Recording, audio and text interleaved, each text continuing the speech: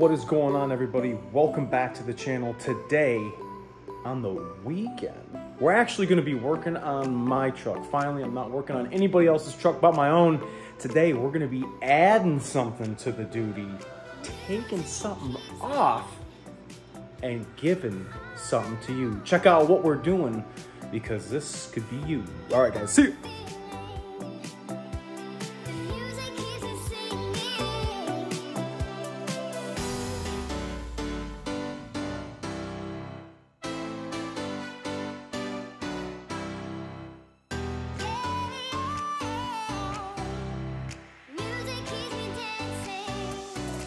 All right, guys, what up? Welcome back. Make sure to hit that like and subscribe. Finally, I'm working on my own truck. It's here on the weekend. I got no wife, I got no kids, just the doggies. Just a, well, one doggy. She's got a little bit of itch. Hazel, she gonna help me? Oh, wait, here comes the other one. Where you at? Where you at? Where you at? There you are. Millie, Millie, hey, you guys gonna help me? Uh-huh. All right, what we're gonna be doing today we're to be adding something to the duty. And I'm to be taking something off, but I can't have two. I'm to give one to you. And I'm to figure that out as we get on with this video. But first off, you probably want to know what the hell I'm talking about. So come on, let's go out to the truck and yeah, let me stop talking. All right, let's check this out. We have, I'm excited, another iDash and I already have one. I showed you guys the installation of the iDash that we installed.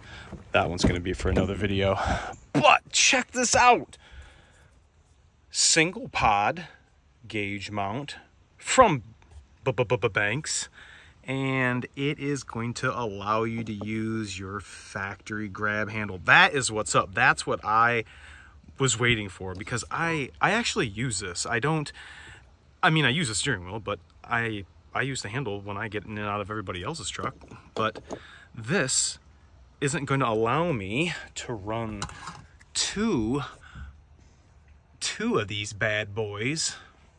So I have a dual pod from Bubba Banks and it is gonna go right here. It's not sitting flush because the bolt is still in here and it uses the factory bolt hole and they give you another bolt and washer that is in the kit.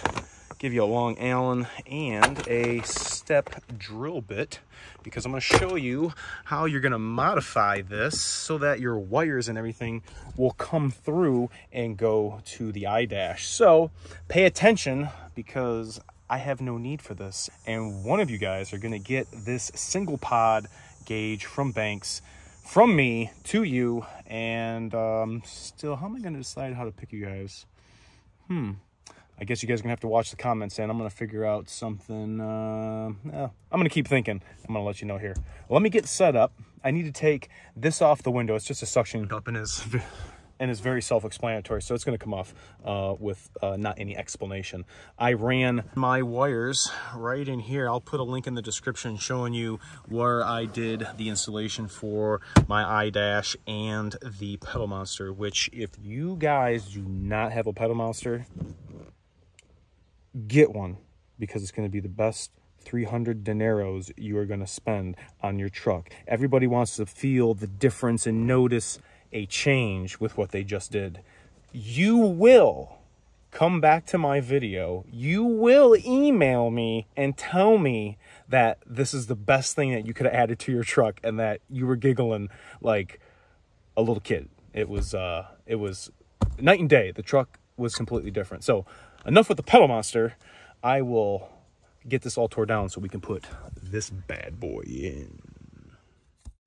All right, I'm a freaking idiot. I'm opening the rest of my bank stuff up and I'm like, what, what, what the heck is, why do I got this little SD card? This whole time I'm talking and Bank sent me the Data Monster. I didn't even know. I, I just saw iDash and completely looked over Data Monster and I'm like, what, what the heck is this? Well, now we're going to be data logging, boys. All right, let me get, let me get my try. Let me get my Ooh, stay tuned for the, uh, ooh, stay tuned to the channel for the new stickers coming through. Bearded Fortec. Ooh, let me show you. Oh, they awesome. All right, back to the GoPro. All right, what I did to kind of clean all this up. First off, Banks is awesome for using the flat cables. It really makes everything a little easier to run, even when you're just kind of tucking it here between the weather stripping and the body. But what I kind of did was made two loops for the wire coming from my pedal monster to the iDash, and then the one coming from my OBD to the iDash. So two loops, got it all ready and primed for our gauge installation. All right, I'm pretty much just gonna try to, all right, I'm gonna try to be as efficient as I can. We're busting out the, uh, the old boys. Haven't, haven't used these ones in quite some time, but I think I'll remember how to take this off. This is a tinted windshield, so I wasn't, wasn't really worried about the material Banks was using. I'm gonna pull my iDash out just a smidge. Let's see, I wonder if the sound would be different over here.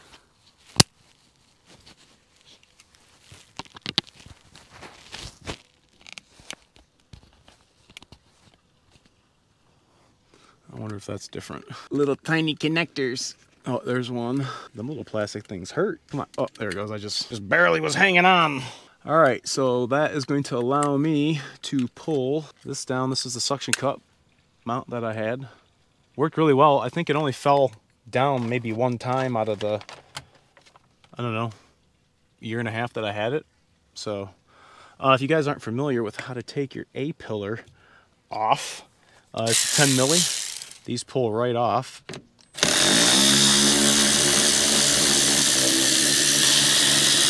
Thankfully, the bottom one here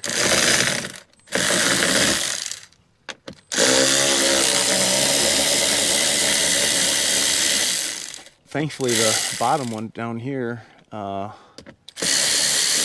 the little tether broke on it and I saved it, but you're going to wind up having to take it off anyway because you're not going to be using it anymore. So right here, you have one little connector going to your tweeter. It's a no-brainer connector. There's a little, little button right there. And we're going to be doing a modification right here. And uh, yeah, you can see this little tether right here. You just work the fingers out on this side and I'm going to show you guys right where to drill. This actually worked out really well when I did the last one. And there goes my tether, just fell right on the ground. And here's my tether, I told you, it uh, it broke. I don't know. Just kind of came off, I don't know. But we're not going to need any more and we're not going to need these wires right here either. We're going to shorten the length of them up. I went right behind the dash right here. And if you pull your weather stripping down, be careful because there's a piece of metal in here that is like a spine, so it keeps its rigidity. And if you come over here, you're gonna wanna pull this panel off, get like a little pocket screwdriver or a trim tool, and you can come back behind here. There you go, got these little white clips. Just work it all the way off, work that off. And then you'll be able to see where I put all of my wiring for all this. My pedal monsters right here. And I'm gonna be shortening these little runs of wires that I have kind of just tucked up in here out of the way. But let me get that kind of worked out and then we'll get we'll get the modifications starting.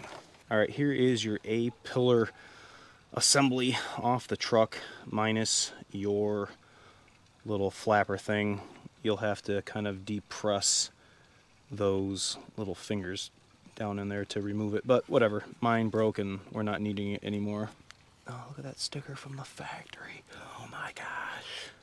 Alright, so let me turn this puppy around here. When you get your kit, whether it's the dual or the single, you're going to get a step drill bit and Allen and also if you get the dual you can get a little jumper wire which in the data monster I have a Y to go from gauge to gauge. So um, pretty much not a big deal at all. I am going to put the step bit into the drill and I am going right for the hole that you had the tether that for the little cap. So uh, actually Banks just texted me as I'm making this. Uh, thanks Mr. Jaybird. And I'm gonna go just like this. Let's see. See if I can show you guys this.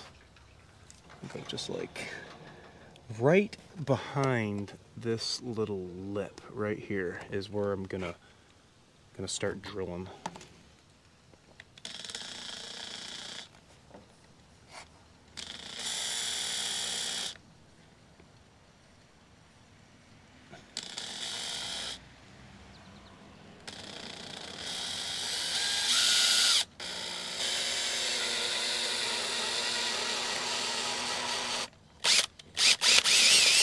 Kind of clean that up a little bit. Now, you can kind of use the distance from the boss here on the back. Don't drill into the boss, then I guess that'll be your clearance, you know, as far as you want to drill, because that should be ample, ample room for you to pass through your wires. kind of use this as a test test fit so that goes right through and then you'll have another one coming through there. So once you put this in are you to be able to slide another connector you know through there? So you might have to widen it just a smidgy widgy but let me cut off all this right here. I'll show you guys a little better what it's going to look like. Get some little trimmers. And this is all going to be covered up mind you by the pod. I'll show you what it looks like, just mocking, just mocking it up. Just trimming the excess here. In fact, let me go get a little razor blade. All right, I got a razor blade. Just gonna, like this is really loose plastic right here. I was trying to look for a X-Acto blade, but didn't have, I don't have one on standby. Trim these little things. Like I said, this isn't going to look like anything when you have the pod installed because it's going to cover all that up. But I don't know, I'm happy with that. Here's my Y. Let's see if we can get both these through. Otherwise we'll have to widen it, widen it some more. Just using this as, as a test, as a test fit. Oh yeah, look at that. Get two, two wires through here. Look at that. So that's the important thing is I need to get the two wires that are already in the truck through here so I can't I can't do something like that. Um, this is go inside the gauge pod from gauge to gauge and then you know that wire is going to be plugging in from uh, the data link or I guess the pedal monster so. All right once you got it all mocked up check out how this looks. The Banks team just killing it. Here it is on the other side. Uses that bottom bolt hole through there and their special Allen that they give you you don't see any modification we did to the A-pillar with the holes that we drew, with the hole that we drilled. And basically what we're going to need to do now is pull our wires through here and mount this, leaving this bolt out. We'll mount fast this one, but uh, we're going to be reversing the removal process and getting this thing in here.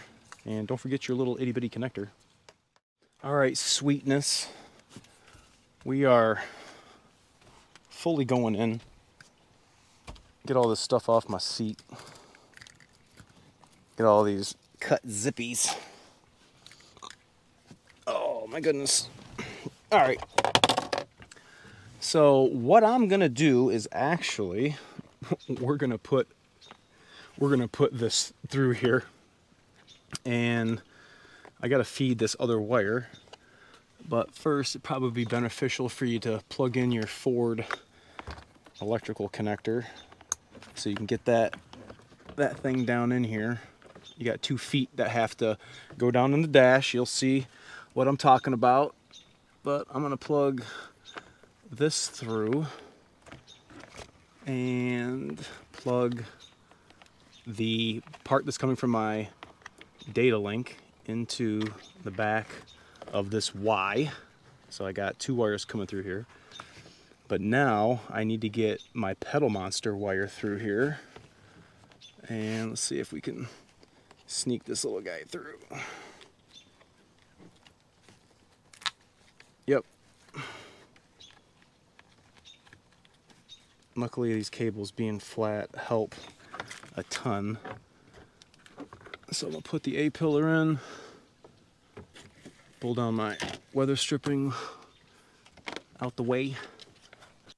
See the feet that are down here in the dash that have to go mount flush, you have a little guide pin here at the top that will let you know when you're in. But here is, here's the wires. And right now they're really tight. I can't pull them through. So you'll have to look behind here and just kind of pull back, kind of look how the wires are being ran and just make sure they're not, you know, by anything that's uh, moved, you know, hard. And let's see if I can get any more slack out of this. Yeah, get a little more out of here. Yep. All right, that's a little better. Let's see how, let's see how this fits. Got two wires coming through here.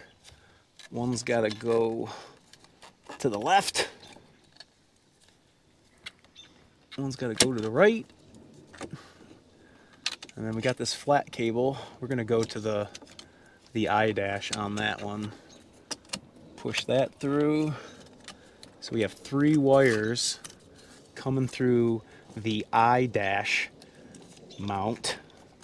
And so you have something that kind of looks like this.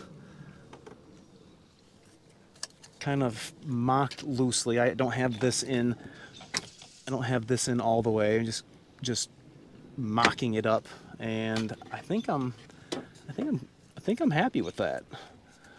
I'm gonna put let's put in a gauge and see see what it looks like with one let's see what it looks like with one the outside we'll put that we'll put the data monster on the outside this is a six pin we're to go for the six pin here. See if I can do this. Oh yeah, she's connected. All right, let me go ahead and kind of pull the slack out as I'm pushing this gauge in. And it's just a, uh, a friction mount. There's no bolts or anything, so you can put it upside down, you can put it 90 degrees, however however you want to look at look at the display. And this one here, let's see, can we get any more slack out of that one?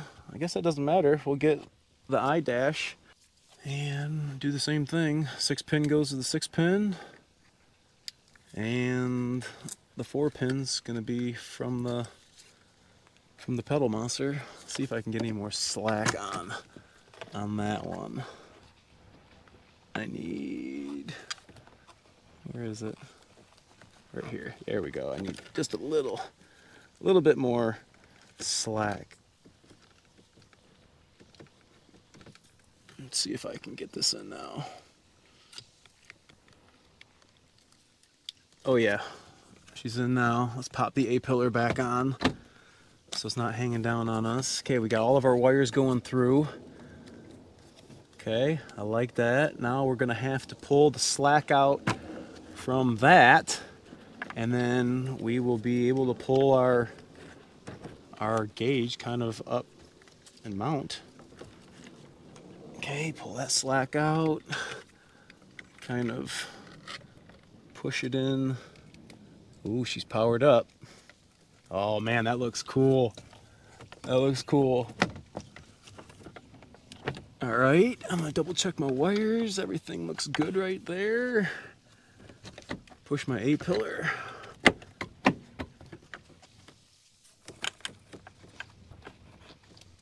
Let's check it now. There we go. I like it, I like it, I like it. I like it. Now, being how we got the wires ran, what I'm gonna do is I'm gonna pop this gauge out. I should have just a little bit of slack still, and I'm gonna be able to use the bolt right here, the bolt hole rather, and get that installed. Let me mock up the forward bolt. Go ahead and put this 10 milli back in.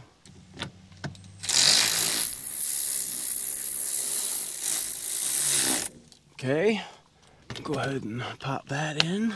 Okay, okay, okay, okay, okay, okay. Now we have a Allen bolt and a washer they give us. And that's gonna go all the way up and bottom out on their boss.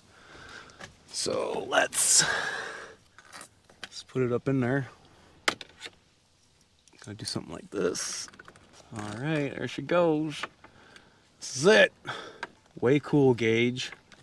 Being able to have the ability to monitor your EGTs, clear codes, monitor regen status. It's a no-brainer to have the Banks iDash, let alone the Data Monster for all you data junkies that want to see, you know, the distance between regens and compare uh, a lot of guys will have tow fifth wheels and go and want to see their distance between regens and and all this stuff because it's it's good info. It's the more you know, the more you go. Okay, let's make this one a little straighter. Okay, make this straight like the horizon. Okay, I like this one. Now these pods are uh, these gauges I show you how to um, set everything up. You can change the colors and and has a dimmer. This is a little sensor eye in here, so it'll actually dim so that you're not getting blinded. blinded by the light um, while you're driving, because this is like, you know, right here. I will tell you, having the gauges there versus here versus here, I really, really like this. Big compliments to Banks and the design team for finally coming out with something that these Super Duty guys are gonna love. Not only the dual pod, but the single pod. If you guys are running the iDash with the suction cup mount and want to upgrade the single gauge pod mount from Banks, I'm gonna pick one of you guys to accept this cool pod. And uh, now every time you get in your truck, you can think of me and Banks. Thanks so much for watching this video. Make sure to like, comment, sub, share, and I don't have any way I'm gonna pick you guys. I'm gonna go in the comments and I'm gonna have my seven-year-old pick somebody. Watch the comments, and maybe I will pick you. Thanks so much for watching, guys. We'll see you.